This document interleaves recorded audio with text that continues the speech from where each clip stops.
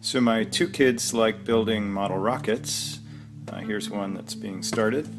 And so my son and I have been doing a Instructable project uh, based on an Arduino that can control the launch of three rockets uh, simultaneously or in sequence. So this is a prototype. We haven't wired it up fully yet, um, just the components. Uh, so you can plug in uh, the wires for up to three rockets there.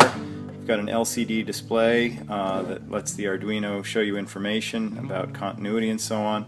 Uh, lots of extra lights because this is for a kid, so more lights is better. Um, showing continuity and status. Great big uh, fire button there. Uh, a joystick for uh, menu navigation um, and accept and back.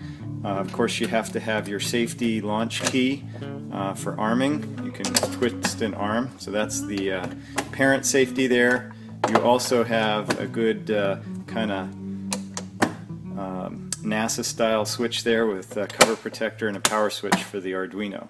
So uh, still need to work on a lot of the wiring inside and the programming will come after that and this will turn into an Instructable when we're done.